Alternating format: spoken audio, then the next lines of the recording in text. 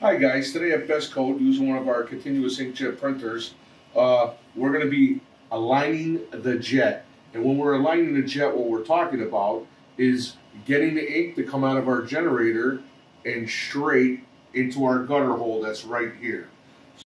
So the first thing I want to say is the things that we're going to need is going to be a small Phillips screwdriver. We're going to need a flathead screwdriver we're going to need an eyeglass or an eye loupe, and we're going to need a good flashlight LED. So those are the tools that are going to be required to do this. So one of the first things we're going to do, guys, is uh, I'm going to go from the home screen here, and we will see the clean. When we hit the clean here, we see print head clean. And I'm going to talk to you why we're going to use the print head clean before we induce ink. So the first thing we're going to do here, guys, is we're going to go ahead and start the print head clean by pushing this uh, arrow button. You're going to see it start counting up from 0 to 20. Uh, usually between 40 and 46% is when you hear our solenoid click. And uh, when that clicks, that's when we're going to be focusing on the print head to watch the stream of makeup. And what we're going to do is we're going to align the makeup into our gutter hole first. So we're at 13%. Again, between 40 and 46.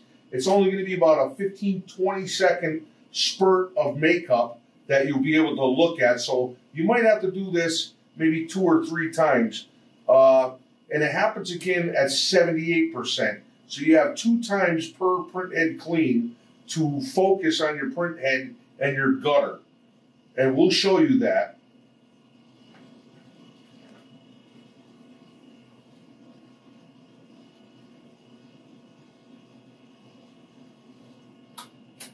And now we heard the uh, two-way valve click at 43%.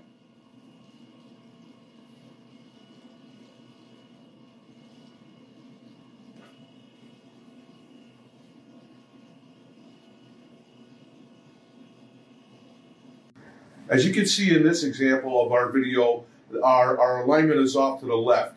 Our ink stream is actually not going into our gutter hole. It is off to the left. Okay, guys, so now I'm going to be making the adjustment. Like I said, I saw the stream going to the left. So I'm going to be loosening up this screw right here with the Phillip head screwdriver just a little bit. I'm going to take my flathead screwdriver and I'm going to go and adjust the cam. I'm going to be adjusting the cam counterclockwise. The way you turn the cam follower is the way that the stream will will will follow.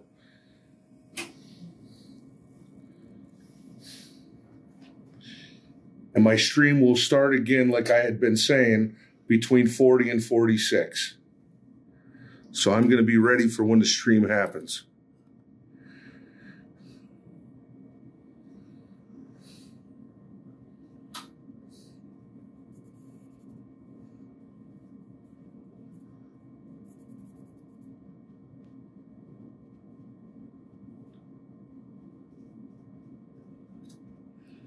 And as you can see, I was going right into the hole. As you can see, as that was happening, I was getting some fluid coming up here. We're not going to get a lot because we're not using the pressure from the pump. We're using the pressure from our Venturi.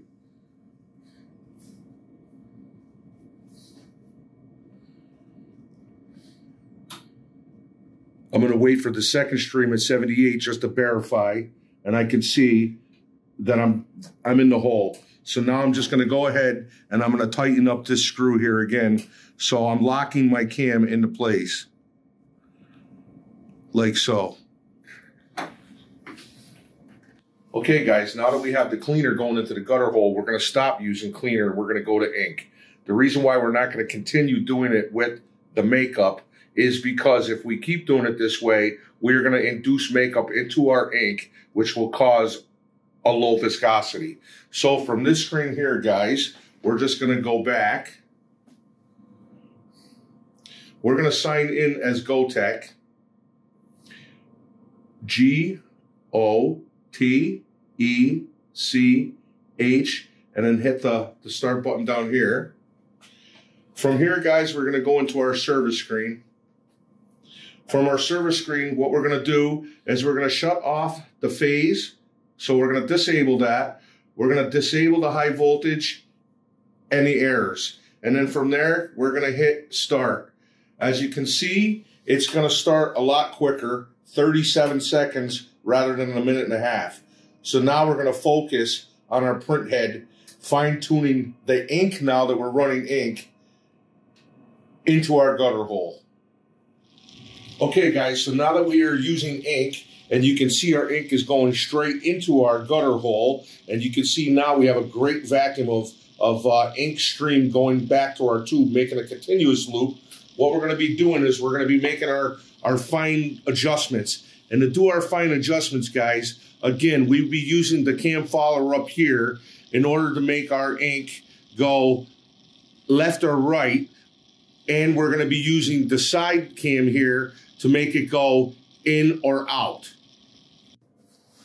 So the first thing we're going to do to make the in and out adjustment is turn the print head 90 degrees.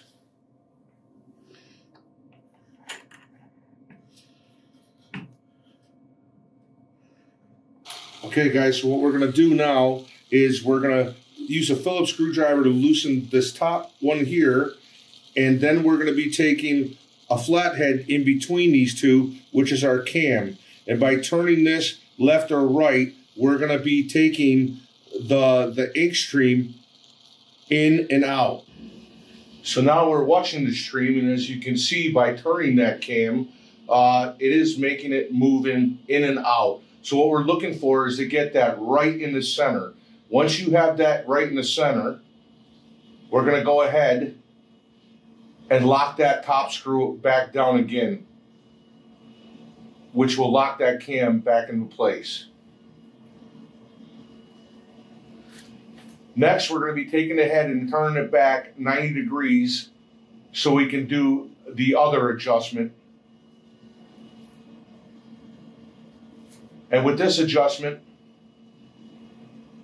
we're going to be taking a Phillips screwdriver and loosening this screw just a little bit. Like so.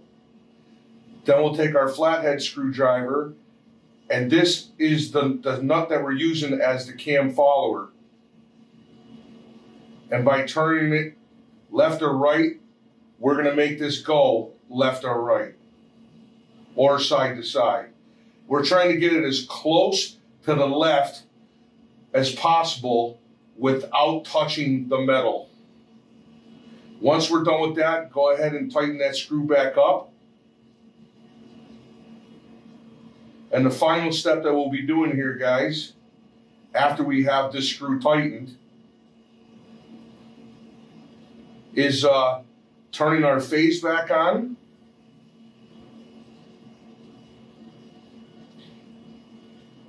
and turning our high voltage back on. Once that's done, we'll go back to the home screen and we're ready to print.